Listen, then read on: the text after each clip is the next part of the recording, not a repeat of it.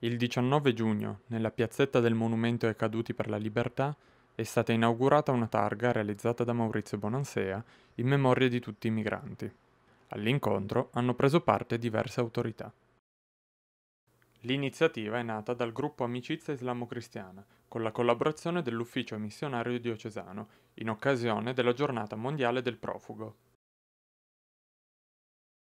Desideriamo commemorare tutti coloro che ieri ed oggi hanno perduto la loro vita inseguendo un sogno di futuro migliore. Ancora oggi la migrazione è considerata come un elemento strutturale, non è considerata ancora come uno strumento, come un elemento strutturale della nostra società. La nostra è una società globalizzata, almeno per quel che riguarda le merci, vero? Certo il migrante è considerato utile quando lavora, ma diventa scomodo, magari anche destabilizzante quando reclama i diritti minimi. E la cronaca di queste ultime ore ci dice qualcosa di estremamente importante, a solo volerlo vedere. Dunque la tentazione è sempre quella di mettere dietro il migrante, bianco o nero che sia, di considerarlo diverso rispetto ai nostri avi che hanno lasciato queste terre. In realtà, invece, sia questi sia quelli, sono accomunati dal comune desiderio di ricerca di una vita migliore. E come lo sappiamo noi con le nostre famiglie, con le tante famiglie migrate anche all'interno del nostro stesso paese, dal sud e dalle isole. Vogliamo dunque in questa occasione sentirci uniti nella comune umanità, al di là del tempo, dei luoghi e degli stessi prefissi Smettiamolo di parlare di immigrati, di emigrati, ma parliamo di migranti, perché noi siamo stati e siamo ancora oggi un popolo di migranti. Pensavo, ho pensato tante volte, ma ci stavo pensando adesso in questa iniziativa. Eh, noi siamo abituati ogni tanto a guardare la televisione, a andare a vedere un film quando guardi la televisione ti emozioni, sovente ti emozioni. Quando guardi la partita di calcio in questi tempi e segna la nazionale ti emozioni, ti alzi in piedi, esulti o quando guardi un film triste o tragico eh, ti emozioni, magari anche piangi o perlomeno alla fine del film eh, hai gli occhi gonfi, eh, ma poi sai di non essere in quella storia, tu non sei nel campo da gioco, tu non sei in quel film non sei in quella storia, quella storia è un'altra storia, è da un'altra parte, è una questione di altri, soprattutto quando si tratta di un film. E questo significa essere degli spettatori. Il grosso problema è che a volte diventiamo spettatori anche rispetto alla storia attuale, a volte ci emozioniamo di fronte a certe notizie, in particolare di fronte alle notizie dei morti nel Mediterraneo ci emozioniamo e poi spegniamo e torniamo alla nostra vita come se fosse un film. Questa lapide, questa pietra, quest- servirà a dire che quella storia è piantata anche nella nostra storia, assolutamente. È piantata qui, in noi pinerolesi. Quella storia ci riguarda, è parte della nostra storia e non possiamo fare gli spettatori. E dunque io ringrazio davvero di cuore chi ha voluto questa questa lapide perché abbiamo bisogno di aiutarci a sentire che quella non è un'altra storia e non è neppure semplicemente un film, è parte della nostra storia e noi ne siamo responsabili. Noi ne siamo responsabili e dobbiamo tenere gli occhi aperti. Penso che a questo servano le lapide, ogni tanto ad aprire gli occhi. Quando uno ci passa dice, ah già, mi ero un po' addormentato, avevo chiuso gli occhi, avevo fatto finta di non vedere, ah già, è vero. Abbiamo una parabola molto bella per chi è credente nel nostro Vangelo che dice questo, la differenza la fa se sai tenere gli occhi aperti o chiusi. È la parabola del buon samaritano. Eh, un tale scendeva da Gerusalemme a Gerico, incappò nei briganti che lo lasciarono mezzo morto, passarono lì due persone, ma videro per modo di dire, ma non sembrava una loro storia e proseguirono. Passò invece un samaritano, uno straniero, vide che quel tale aveva bisogno, scende da cavallo, lo aiuta, lo cura, quella fa, fa la differenza. Quello fa la differenza, avere occhi abbastanza per accorgerti che l'altro ha bisogno e diventare suo prossimo. Ci auguriamo che davvero questa lapide ce lo ricordi ogni giorno, perché noi possiamo essere e sentirci responsabili e non essere solo spettatori. Grazie molto. Il nostro territorio eh, è un territorio che storicamente ha visto il dialogo delle religioni come un, quasi un fondamento culturale, no? la presenza dei, dei valdesi, eh, da, quindi da sempre su questo territorio si, le religioni dialogano, le fedi diverse hanno imparato a dialogare, hanno imparato a mescolarsi. Eh, oggi questo dialogo si amplia, si amplia con le nuove fedi che arrivano e nascono questi gruppi, nascono i gruppi di, di amicizia che creano poi alla fine quel substrato, mi viene da dire, culturale che ha permesso, soprattutto in questi anni, poi di creare quella rete fenomenale, straordinaria, che abbiamo creato sul territorio di accoglienza e di solidarietà. Ho sempre considerato le migrazioni come un po' come se fosse l'acqua, un fiume che scorre, no? Un fiume che scorre diventa difficile fermarlo, cioè devi innalzare muri sempre più grandi, sempre più grandi e prima o poi, prima o poi l'acqua ti esce, ti scappa. Ecco un fenomeno quasi naturale, no? Se c'è acqua se c'è pendenza, l'acqua viene giù. Così le migrazioni, I, i popoli si sono sempre mossi Ieri ho partecipato, ieri pomeriggio, a un'iniziativa molto interessante a Torre Pellice, organizzata da Ripartiamo Insieme e dalla Diaconia Valdese, in cui sono state raccontate delle storie di, di integrazione, rese possibili da quelli che erano i progetti SPRAR, no? che qualcuno diceva che non funzionavano, che erano da abolire. Ecco, invece ci sono decine e decine e decine di storie di integrazione di persone che sono arrivate qua, non avevano niente, e adesso si sono fatte famiglie, sono autonome, grazie a questo tipo di progettazione. Un po' come l'acqua, noi non possiamo fermarle. Ci saranno sempre. La politica ha una grandissima responsabilità in questa situazione qua. Si deve prendere la responsabilità di governare un fenomeno.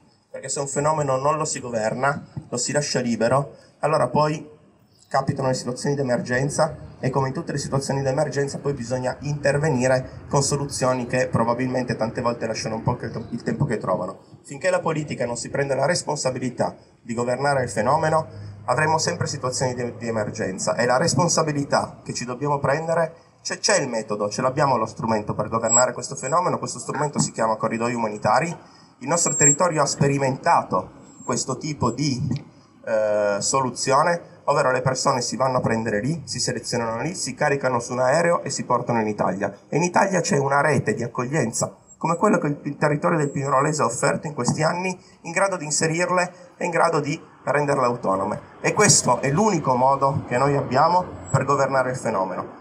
Finché la politica non si prende questa responsabilità e non inizia ad avere una parte attiva nel percorso, allora noi avremo sempre situazioni di emergenza e tragedie in mare come quella che oggi ricordiamo.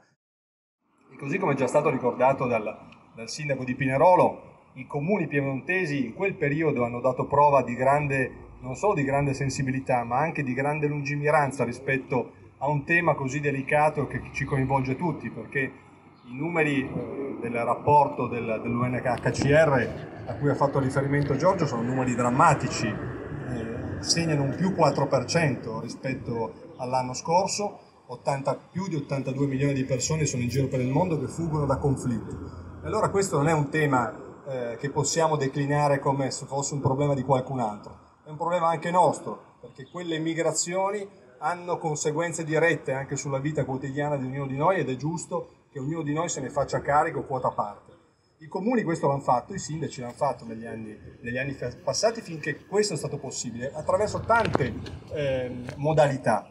Ieri abbiamo, con Anci Piemonte, io sono ancora presidente della consulta eh, politica europea e cooperazione decentrata, abbiamo fatto un bel, un bel seminario e abbiamo evidenziato le buone pratiche dei comuni piemontesi rispetto alla cooperazione decentrata e abbiamo investito tanti soldi sulla cooperazione decentrata, per esempio attraverso l'attività che la nostra società pubblica che gestisce il servizio idrico integrato svolge, eh, quindi nel trasferimento tecnologico. Molti paesi africani, hanno, molti paesi africani, molte popolazioni non hanno accesso all'acqua potabile, e Smart, la nostra società, con i finanziamenti che sono arrivati dalla vostra bolletta, che tutti pagate, una percentuale piccola, che però moltiplicata per le tante bollette della provincia di Torino genera qualche risorsa importante, Smart ha trasferito da sopra le proprie competenze tecnologiche, è andata a bucare e a trovare i pozzi in, certe aree della, dell'Africa, investendo anche in, in, innovazione tecnologica in quelle aree così... Ehm, così complicate e anche così difficili dal punto di vista della qualità della vita come potete immaginare che le riflessioni come quelle di oggi servano a darci quell'obiettivo che ha ben raccontato Monsignor Vescovo, che ha ben definito Monsignor Vescovo, un obiettivo che credo poi molto semplicemente Papa Francesco ci ha richiamato nella, nella sua terza enciclica, Fratelli tutti, quando ci dice che ci ricorda e ci fa aprire gli occhi sul fatto che in questa terra il mondo è piccolo, sul fatto che qui nessuno si salva da solo. Allora o la impostiamo eh, questo questo approccio al fenomeno delle migrazioni lo impostiamo consapevoli che nessuno si salva da solo, o se no questo piccolo mondo rischia di fare davvero una brutta fine. Io mi auguro che questa lapide e anche dire, la sensibilità che tutti oggi, che voi siete qui presenti, eh, rappresentate, eh, dire, tenti di evidenziare, di, di, contaminare quelle belle esperienze che sono state che i sindaci piemontesi, che tanti sindaci piemontesi hanno generato su questo nostro territorio e delle quali noi dobbiamo essere assolutamente orgogliosi. Eh, Hassan, due parole solo per dire grazie, dopodiché io avrò il piacere di consegnare a te per tutta la, la comunità giuliana del tu perché come succede tra fratelli, insomma, non, non, non badiamo tanto alle distanze. Quindi Hassan, due parole ti senti di dirle? Solo due parole. Prego.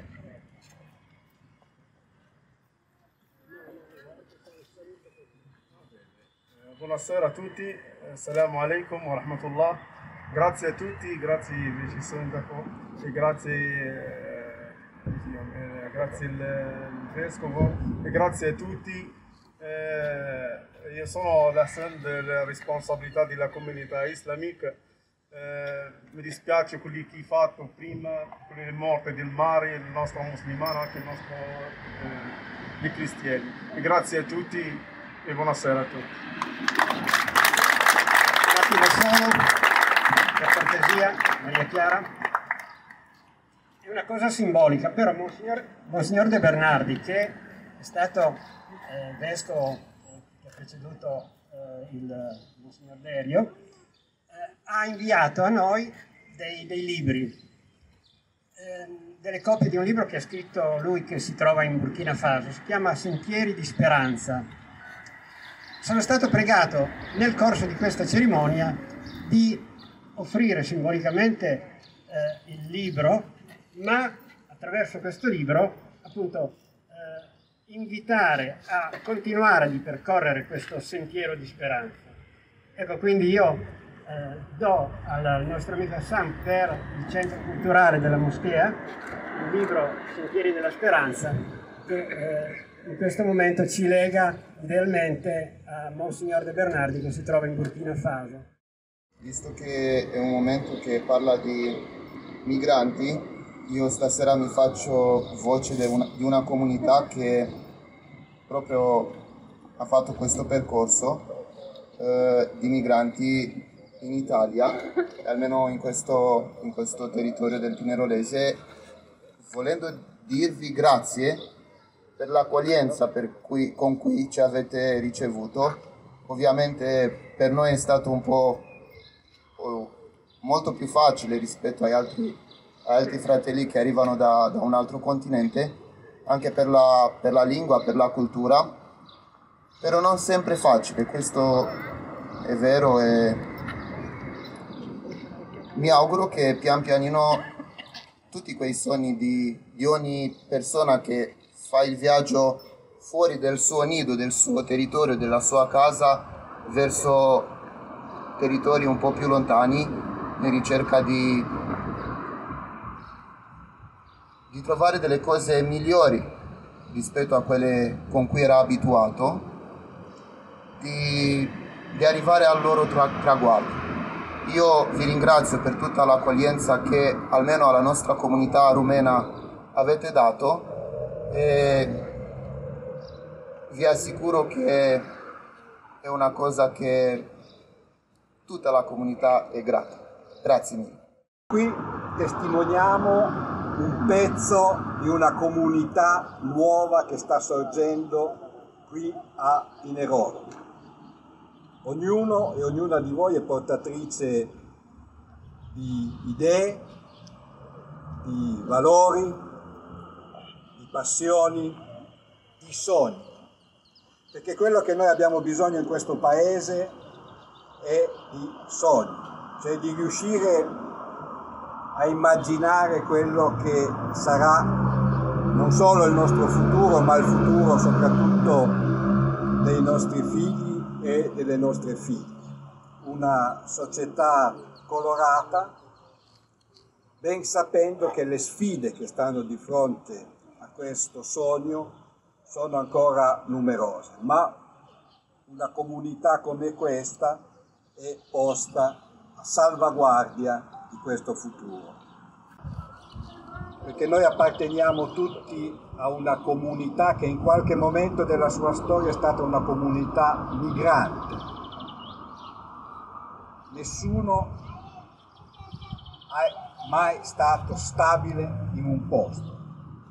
Noi siamo stati migranti per motivi religiosi, siamo stati migranti per motivi economici non tanto tempo fa. E dunque ciascuno di noi ha famiglie, pezzi di famiglia che sono dispersi nel mondo. Pensiamo all'America del Nord, pensiamo all'America del Sud, pensiamo alle tante tanti italiani che hanno portato con il loro ingegno, usiamo ancora questa categoria secondo me un po' consumata, il loro ingegno hanno portato ricchezza ad altri paesi. Io credo che le sorelle e i fratelli che noi accogliamo, che vengono dal sud del mondo o dall'est del mondo o dall'ovest del mondo, rappresentano per noi stessa, quella stessa ricchezza, quella stessa capacità di rinnovare un paese vecchio e ammalato come il nostro.